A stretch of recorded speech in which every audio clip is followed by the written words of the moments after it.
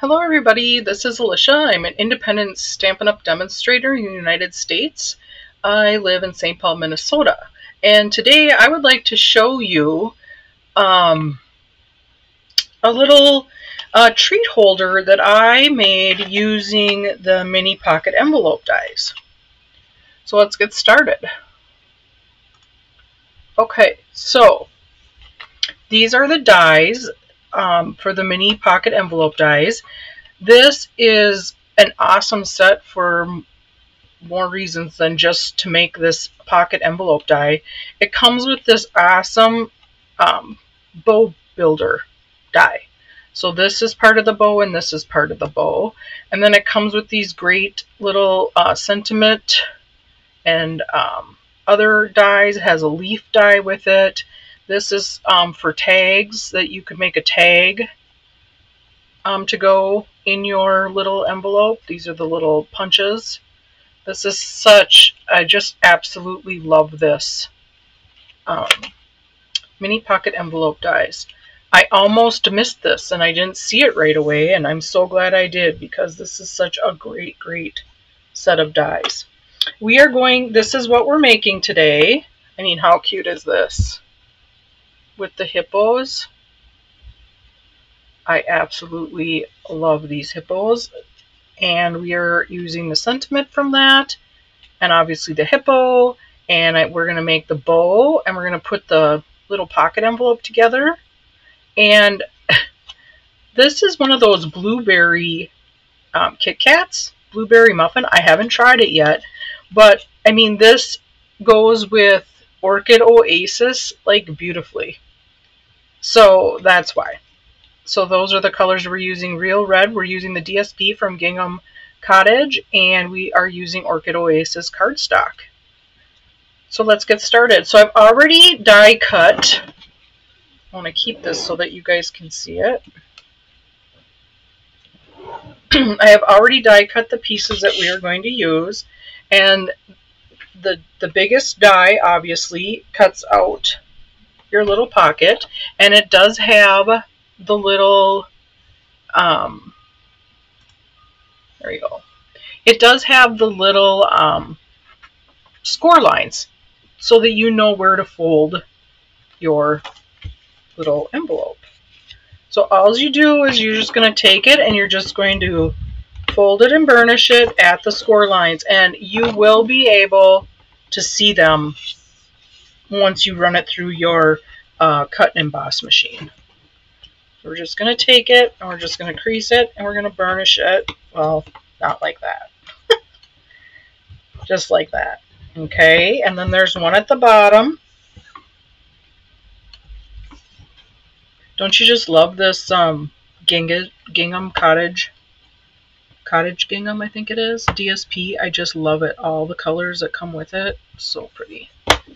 Okay, and so then you have, that will be your, your pocket. And what it's really cool about this, it's got that little um, scalloped edge on there, just like this. Yeah, I really like that. So what we're going to do is we're going to just use some multi-purpose glue and we're going to put them on the inside of where you just folded, these little flaps just like so, and then you're just going to bring it over and you're just going to press down. This is such a cute and easy little, this could be for anything. It's such a cute little pocket. You could put this on a card and make a pocket card. And there's your envelope. It's super easy. These will be great to do multiples if you're um, doing like a like a Christmas treat or any kind of treat. Halloween, these would be great for Halloween. Absolutely wonderful. They would go great with the best um, witches set or the bewitching. Oh, that would be cute too. Or scary cute. Yeah. So there's your pocket. And then to make the bow, the paper bow, all you do is you just take it and on these in the center you just put a little dot of glue. You could use your um, mini glue dots and then you're just going to fold it over and hold it. Just make sure that it's straight. So as you can see, that's all I, that you do is you just fold it over and I'm just holding it so that it's secure. And then you're just going to do the same thing on the other side. You're going to put a little dot of glue and you're just going to fold it over like so. Just like that. Just make sure that it's straight. And There's your little your little bowl. And then you are going to take the other piece and you are going to fold it over twice. So you are going to take this and you're going to fold it like so. And then you're going to bring th this piece up like this and fold it over. So then you have your cute little paper bow. See? But we need to glue it. So I'm going to just bend it over. Make sure that it's straight. I'm going to put a little dot of glue here. And like I said, you can use your mini glue dots too. That would work great too. And you're just going to fold that over and then hold it into place. Okay, so there you have your cute little bow. I mean, how cute is that, you guys?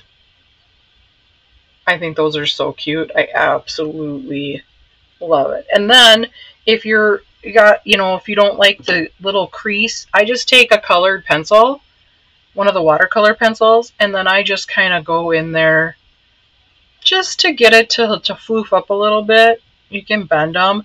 It works really good with the DSPs a little bit thinner, but I wanted to use this cardstock. And then I just kind of floof it up a little bit, just like you would when you're tying, you know, a, a ribbon bow. So that's it for that. Okay, we're going to take our little die cut that we cut from the die cut set, and we're going to use the You're So Hip with the Orchid Oasis. So we match our Kit Kat and our bow. And we are just going to stamp it like that. Okay. And then let's color our little cute little hippo. And I am using gray granite. I'm using the light granny apple green, the light flirty flamingo, and the dark real red for my hippo. So the first thing that I'm going to do is I'm going to take my dark uh, gray granite and I am going to use the the bullet end or the pen tip end, not the brush end. And I'm going to make my shadows where I, my shading where our shadows would be. So like there at the creases of his arms and then like under his little belly here and his chin, I think there would be some shadows. Maybe a couple right here. Same on this part. Okay. I'm just going to go like this. And I think, let's see, let's add a little bit over here. And then, oh, maybe a little bit under here would be, I think, a little shadow. Then I'm going to take my light gray granite with the brush tip and I'm going to blend that in. Just like so. And I'm not going to go over the little fingernails because I want to paint those in Flirty Flamingo. And all you're going to do is you're just going to use your brush tip to blend in your, your dark. So it just looks like a little bit of shadowing. And to be careful not to go over the flower. Just like so. And now you could do a two-toned hippo. You could use a darker on his body and a lighter on his his snout or his face. Okay, and what I want to do is I want to add a little bit of blush, to, like he's a little bit embarrassed maybe, or just a little bit, oh, so sweet, the little rosy cheeks. So I'm just going to add some light Flirty Flamingo before I go over with my light gray granite. And they don't have to be perfect circles.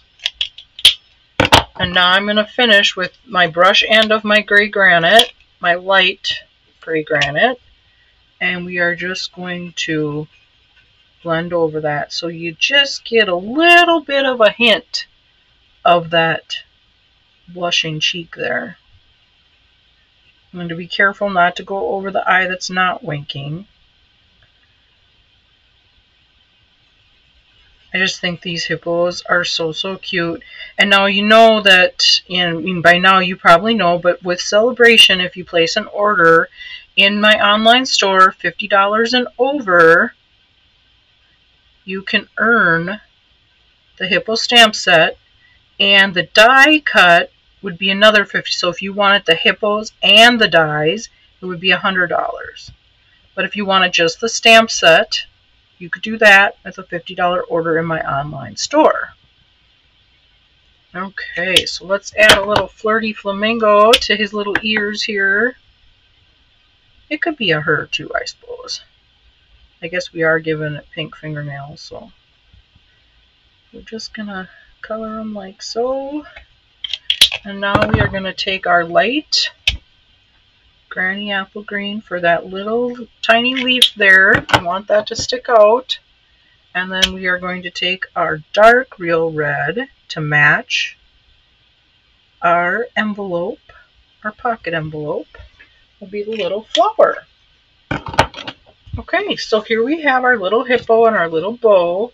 So I'm just going to turn these guys over. This, I'm going to use all-purpose glue and put this in the bottom corner. Take it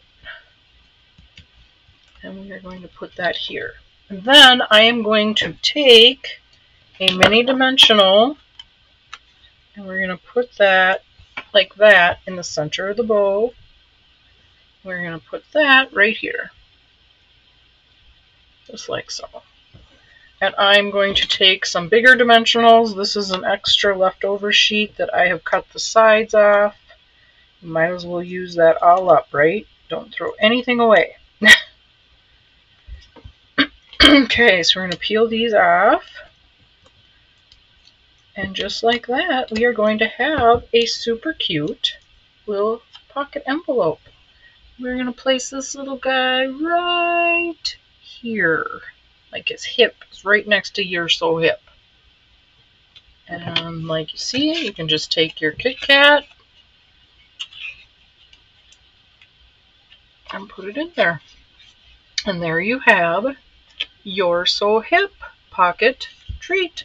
And here's the other one. You can do the, the red in there. And then there is white. The white chocolate. You could put a white one in there. So here you go. These are made using the mini envelope dies, the mini pocket envelope dies. I just love everything that goes with it. I love all the little tags that go with it. And this bow. I absolutely love these paper bows. So, oh, we forgot to add the little embellishments. I always forget the embellishments. I have these little iridescent um, little guys on here. So let's put a couple of these on. Yeah, gotta have a little bling. I always forget to put the bling on.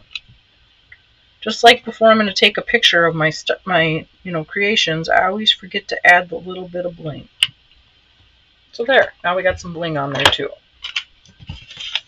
You see that? There you go. There's our You're So Hip mini pocket envelopes. Thanks for watching. Bye now.